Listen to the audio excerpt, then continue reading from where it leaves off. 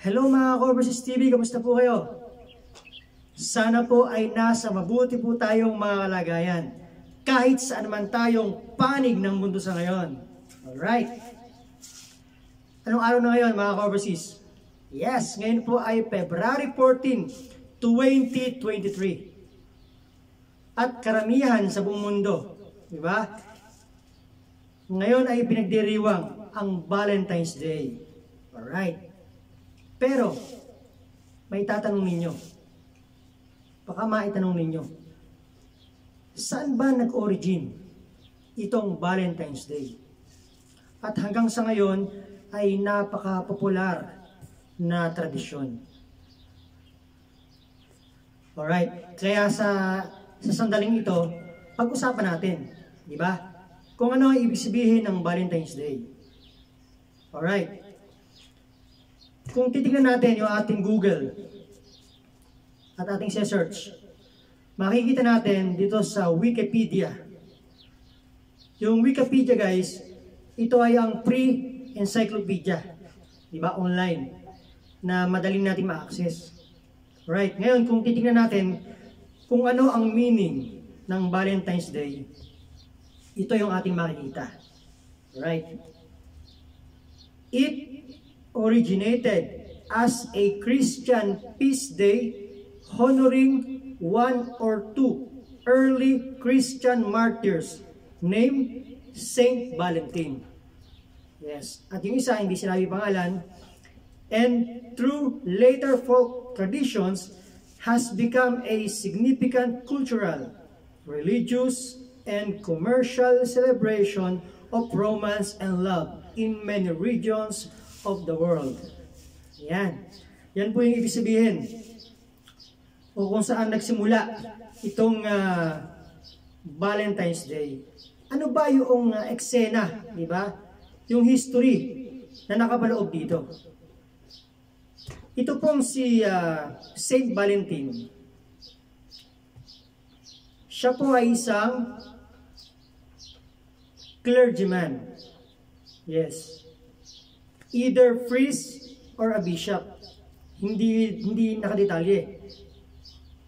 Kung siya ay priest o bishop, bishop. Okay. Ngayon, itong si Saint Valentin, siya po ay uh, in-execute, di ba? Naparusahan po siya ng kamatayan. Dahil sa kanyang uh, pagbabalita, di ba? Pagsasabi sa iba tungkol sa Christianity. Alam naman natin, di ba?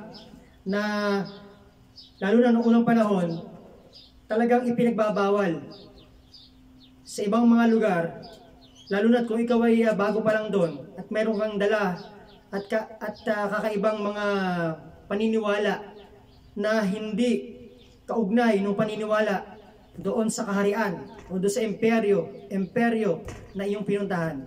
At kapag ikaw ay nagbalita tungkol doon, eh sigurado, di ba? Bibitayin ka. Di ba? Kakasuhan ka. Right? Kaya ganyan ang nangyari kay uh, Saint Valentine. Kaya ano nangyari? Siya po ay naparusahan ng kamatayan. Kaya po siya ay namatay. At nung siya ay namatay, siya po ay inilibing sa Via Flaminia noong February 14. Yan. Kaya yung meaning ng Valentine's Day, Talagang ito ay pagbibigay pugay, no? gaya ng ating sinabi kanina, na ating nakita doon sa Wikipedia, yung Valentine's Day, ito ay pagbibigay pugay kay Saint Valentine. Diba? At bago siya mamatay, ito pa, bago siya mamatay, nag-iwan siya ng sulat doon sa anak na babae noong uh, gwardya, doon sa kulungan. Ang sabi niya, Your Valentine. Yun, nagbigay siya ng sulat. Kaya nakikita natin yan doon sa mga poster. Di ba? Yung may puso, pagkatapos mayroong isang anghel na may pakpak. Di ba? Na animoy siya si uh, Saint Valentin. Yan. Kaya dyan po nag-origin itong uh, Valentine's Day. Alright mga kabarsis. Ngayon may tatanong natin. Ito bang uh, Valentine's Day ay uh, tradisyon ng mga Kristiyano. Ano ang sagot? Kung ating bubuksan ulit at ating search sa ating Google, makikita natin na ito po ay uh, mula sa pagan. Di ba? Pagan celebration, guys. Ano ba ang pagan celebration? Ang pagan celebration, ito yung uh, mga tao na ang sinasamba ay more than sa isang Diyos. Di ba? Marami silang sinasambang Diyos, marami silang sinasambang mga goddess. Hindi, hindi sila nakasentro sa isang Diyos lamang. Di ba? Katulad ng itinuturo ng Biblia. Ayan. Yan po yung pagan. Kaya syempre, ito po ay kaalaman lamang mga ka-overseas, ka-overseas TV packs. Di ba? Na kailangan na tayo din ay aware. Di ba? Kung saan nagmula itong mga tradisyon na ito. At tayo na ngayon ang makapagpapasya kung saan natin ilulugar yung ating sarili. Di ba? Kasi sabi nga natin, ano man yung ating mga ginagawa ngayon, di ba? Ano man yung ating mga paniniwala, yung ating mga comments sa isang bagay, di ba? Meron at meron niyang origin, di ba? Meron niya sigurado. Yes, lalo pat itong mga tradisyon, sigurado merong origin yan.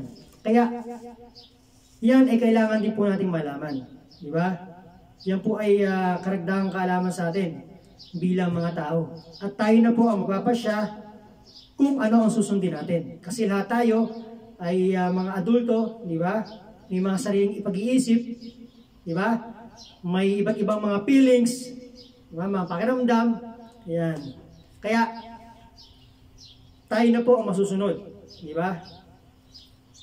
Pero gaya nga po na sabi natin, di ba? Sa lahat ng bagay may batas, di ba? Hindi natin pwede sabihin na hindi natin alam ang batas kaya natin nagawa ang isang bagay. Hindi po natin pwedeng uh, gawing dahilan yon.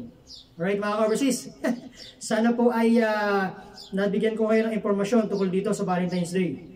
Alright, kung gusto po ninyo ng mas detail pa, isearch nyo rin po sa Google. Diba? Kasi sinearch ko din naman yan sa Google eh. Sa Wikipedia. Ang pre-encyclopedia. Diba? Na madali pong ma-access. Alright, mga overseas. Kaya sana po ay uh, nabigyan ko kayo ng uh, impormasyon tungkol dito. O kaya naman ay na-refresh ang inyong kaalaman. Right mga ka-overseas? Kaya po, enjoy. Enjoy po sa araw po na ito. Di ba? Lalo na po kung kayo po ay may loved ones, enjoy po. Alright mga ka-overseas? Kaya hanggang sa muli po, mag-ingat po tayo lahat. At gaya po ng ating lagi sinasabi, mabuhay po tayo kahit ayaw na natin para po sa mga nagmamahal sa atin. Peace, everybody!